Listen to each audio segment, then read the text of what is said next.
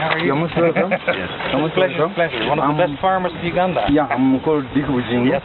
From South agronomist to teach in the camp, in the school camp, to teach them the modern method and even to introduce them to the greenhouse. We have our most of our gardening is in greenhouse farming, and uh, here we apply. Um, but we apply irrigation. We have come to show them irrigation, the way we do irrigation. carbohydrate that we know of. Maize bran. What is maize bran?